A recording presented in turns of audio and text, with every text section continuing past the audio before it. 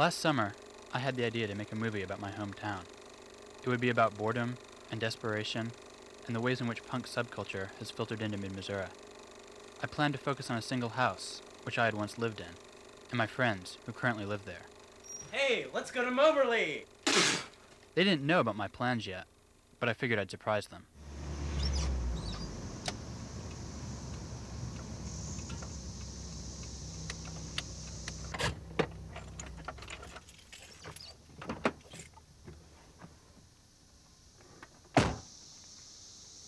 Okay, so this is Alton. Um, I'm guessing it's pretty early, like noon. Or everyone's probably asleep, but uh, we'll go check it out. I'll show you guys what's going on in there. Huh?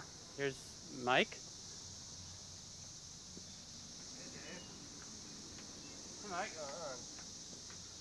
Um, I'm just bringing these guys over to check out Alton. What are you up to? I'm making a, uh, working on a documentary called What Hicks Do for Kicks. That sounds pretty good. Yeah. It's about, you know, small town America, that kind of stuff. Yeah, that's cool. Is it all you shooting it all like this? Uh, no, this is just sort of to establish a uh, point of view. Hey, have you seen uh, have you seen any of the Alton kids around? No, Do I they haven't. sleep or? I don't think they're. Um, I don't. I haven't seen anybody for a while. Yeah. Are you kind of uh, unwelcome at Alton these days? Or? Yeah, I don't know. Yeah, Okay. but go check it out, and if there's nobody around, you know, man, I'll come get some records stuff that I left here. Yeah. Okay. Um, good luck with your documentary. Yeah. Good luck with whatever you're doing. Okay. Thanks, Mike. See you later.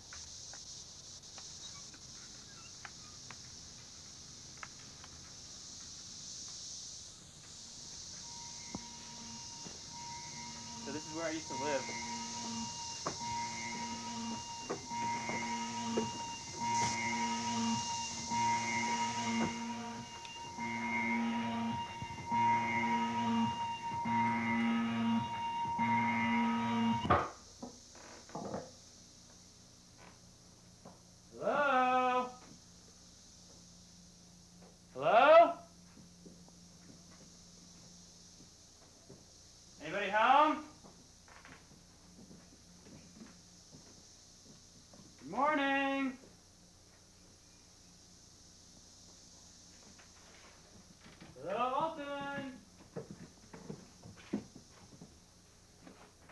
Making a movie.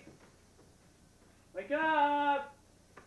Uh, David, check this out. Whoa.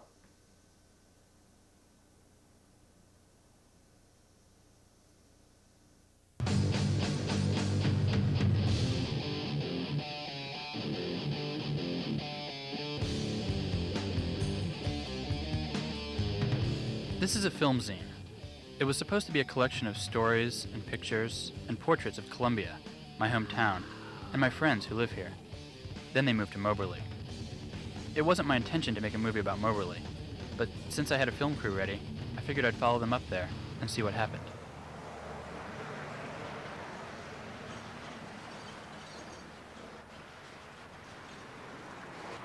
Hi. Hello? Yes? Um, my name's David Wilson.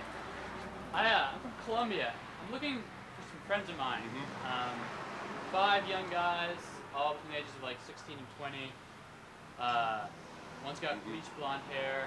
Um, I think they, I think they moved up to Moberly. Five Yeah. guys with bleach blonde hair from. Well, not all of them have bleach blonde hair, Okay. but um, yeah, I just on the off chance that you've seen them maybe. Is that them? No, I don't. I don't think so. Okay, they're not rednecks. No, Uh, they're all sort of skinny young boys. skinny young boys.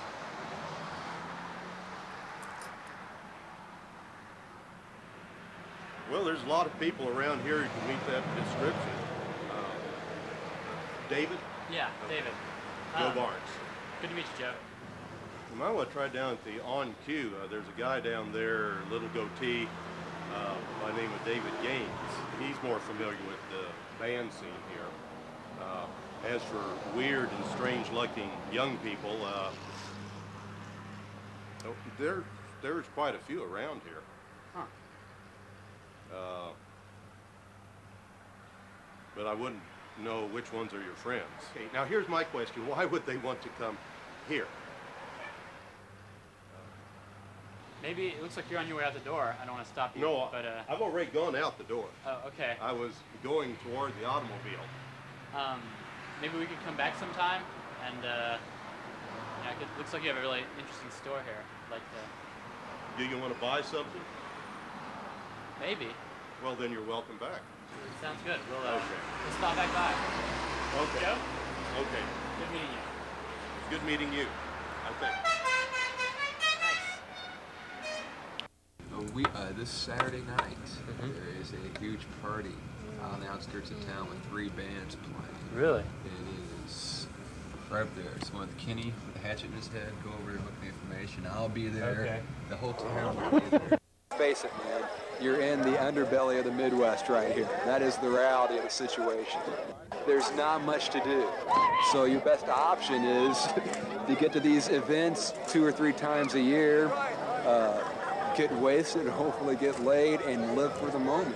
Yeah, like bands, music scene, just like kind of the uh, the unofficial history of Moberly or something. Oh, weird. Okay. So Because a lot of people don't understand what actually goes on in this sort of town. Yeah. Little bitty town in Moberly in Missouri. It's, you know, people think, well, it's a quiet town, country folks, and it's really not.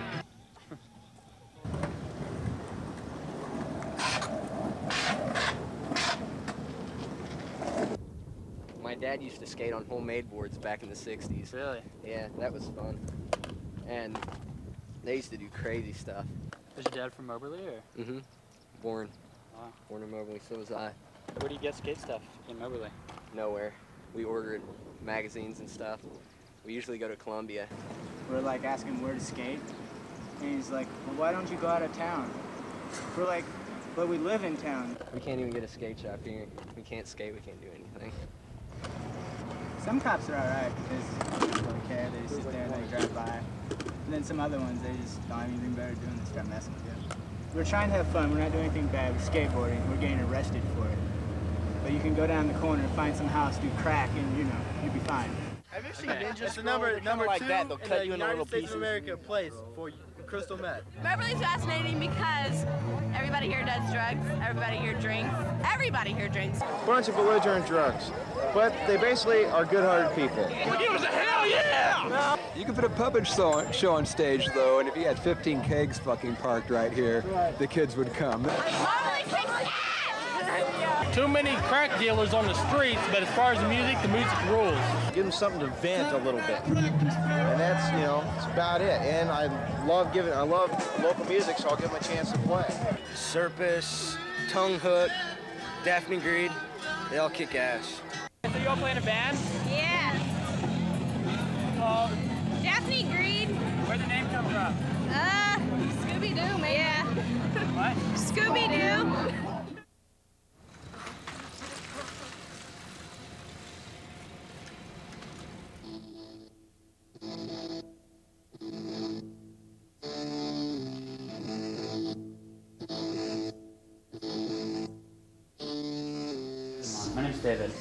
I'm Columbia. Um, and I'm working on this movie. But I'm looking for this, these friends of mine who I think moved up here a little while ago. What was the original impetus? Like, how did you start playing together? Were you all friends or? Yeah.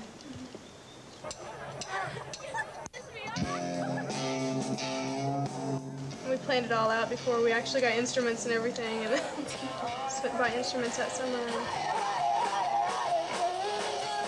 How did people react when you guys started playing or you first played your first concerts with it? People are curious more than anything. Yeah, they still are. still a lot of people that like haven't heard us that kind of.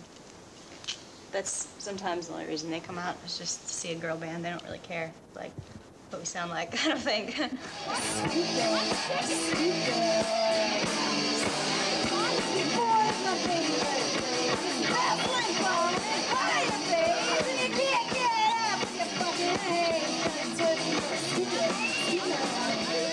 role, if any, do you think like boredom plays? Li- Being a kid and living here and feeling like you're you're trapped or anything. Is that? I mean, do y'all think about that or? I think every kid thinks about that that lives here. I really do. Because that it just seems like everybody's like it's got to be better someplace else. You know? There's got to be more to do. You talk to older people and they have gone so many places and they always find themselves back here. I mean, it's a nice town. It's not like like real, real shitty or anything. You know, it's just it's just like there's nothing to do. there's never been anything to do. I don't think. I think it's like grown worse since we got older. So Do you guys you guys practice up here, right? yeah, Do you have trouble with the cops or anything? Um, yeah, just one time, not really. What happened at that? Oh, a lot of yelling, and then John, who's my boyfriend, just kind of tackled this one guy. I was just like standing back, watching, hoping he didn't get hurt, and then all the other boys rushed. Then cops were coming, so we all just sped out of there. yeah. I said let's have a party, not not let's have fucking Friday night fights. Her boys are kind of rowdy. beat the fuck Well, he beat up him because he There's one cop in particular that doesn't like them, so he, uh, yeah, he hassled them just the other day. They got arrested for skating. Uh-huh. Arrested, like taken down to like the police Mhm. station and. Andrew did, yeah. Really? Yeah, he got cuffed. He said something not very nice about one of the city officials. We've all had like that were good or that, you know, some girls are like, wow, you know, you're doing that, but not really, not really that they're appreciative of what I'm saying or anything. I, I don't know that they can even understand it. I have some songs about like eating too much, but it's not, it doesn't sound like that, you know, it's not like I'm fat or, uh, it's, you know, it's not like that, it's like kind of a roundabout way. At this point, do you think like in five years or ten years, like you'll be in a band, or will it be something that you have, like put off, or? I hope so. I'd like to still do it, do it till we're like 40, have kids, and they can grow up and do it. I guess you know while I'm up here in Moberly, like I don't know, is there anyone else I could talk to about kind of? I guess kind of like what it's like maybe to be the freaks or the outcasts. You could talk to Circus. Circus is awesome.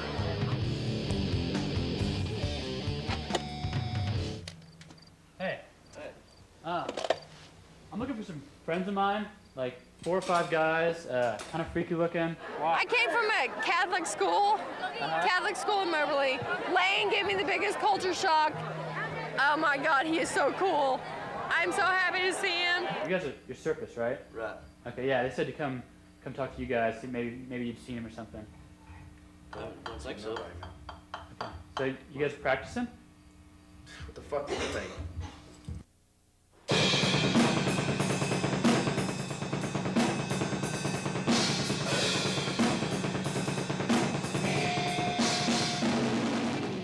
Being from Moberly, how's that affected you guys as a band? That sucks. Held us back. We're in a rut. Big, major rut. There's a small and loyal fan base, but it's pretty small. That you get a lot of people that are there and they're right there on the scene, but they didn't come to watch you play. Like, you know, cowboys, people like that, which there's a lot of them around here, and so they see everybody jumping around. Well, they they they care less about the band or anything, but they're there, and so they think that's cool, and they go and try to hurt people and shit like that. Just because this, you know, kid's got long hair and a couple of earrings, so let's jump on him a little bit, just for fun. You know, they're not there to support anybody.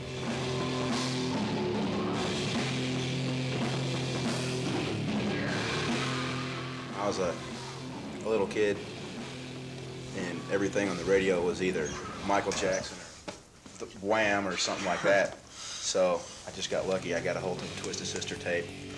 Twisted Sister started it off for me. When I, when I moved down here a couple of years ago, uh, it seemed like that there was like two types of kids, and there was there were like two things to do, which was drugs and sports.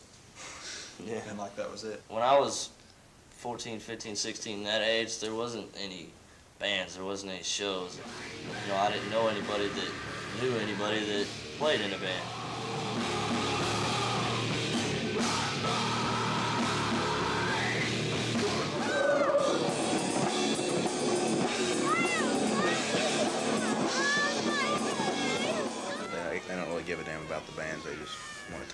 Afterwards because they think you're cool, which we are. It's pretty bad around here. It's thick tension in the air all the time. everybody always has to stare at you when you drive down the road because they're so interested in what the, you know, the other person's doing because there's nothing else. They have nothing else. It's pretty pathetic. Missouri, in a, as a whole, is just is not the place to be for us right now, and that's that. This shit box is gross.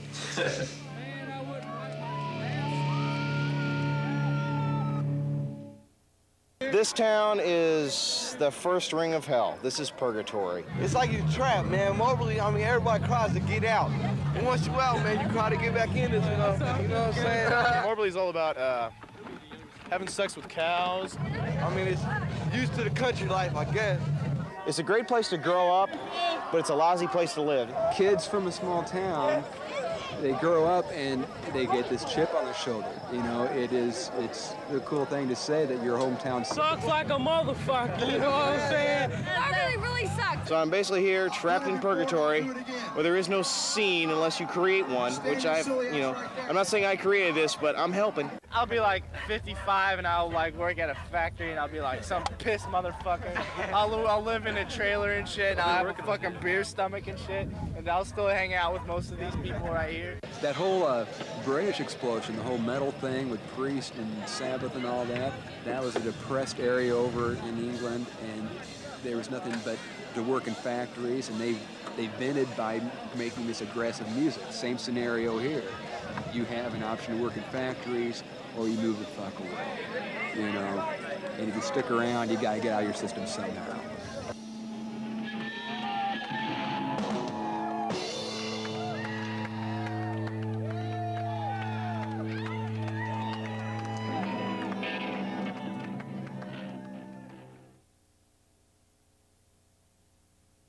Following my friends to Moberly wasn't what I expected when I started this film, but things seem to work out okay. Kids in Moberly are just as desperate to create a culture of their own as kids in Columbia, only they have even less to work with. I never found my friends, and eventually I ran out of film and money and had to give up and head back to Columbia. And maybe I wasn't in Moberly long enough to do more than just skim the surface, but hopefully, I managed to notice a few details that might not be apparent to someone on the inside looking out.